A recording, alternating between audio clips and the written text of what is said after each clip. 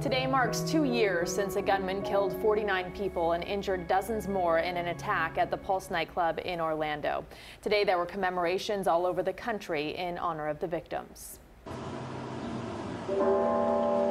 Antonio Davon Brown. In Orlando, bells tolled 49 times outside a church, once for each of the victims. And all across the country, from Florida to California, supporters of gun reform staged die-ins, a reminder of the devastating human cost of the gun violence epidemic. CBS 4's Gary Nelson is in the control room with more on today's tributes. Gary. Well, enough is enough. Never again. Call it what you will. The gun control movement refuses to go away, continues to grow. This second anniversary of the Pulse nightclub mass shooting in Orlando saw demonstrations nationwide. In Washington, D.C. today, hundreds gathered on the Capitol lawn for speeches calling for gun control, and then joined in a die in representing those slaughtered at Pulse, Parkland, all of our many mass shootings. In New York, Parkland survivors were among those participating in the nationwide day of protest. This country brushes gun violence under the carpet. This country brushes urban violence under the carpet.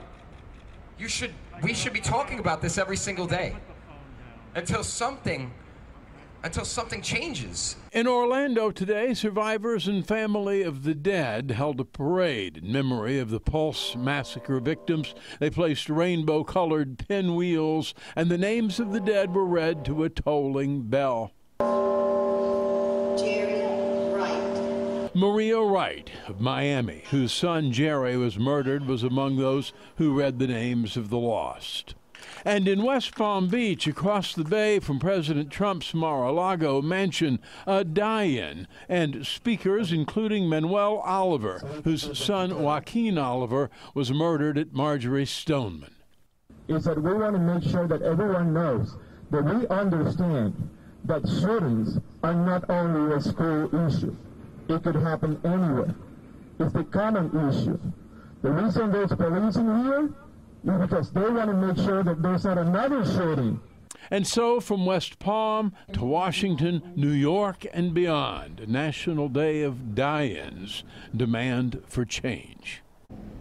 And it's just not stopping. The Marjory Stoneman Douglas activists have a nationwide tour, the Road to Change tour, set to begin June 15th. They will board buses and travel to key congressional districts, urging voters to support candidates who support strong gun control. In the control room, Gary Nelson, CBS 4 News.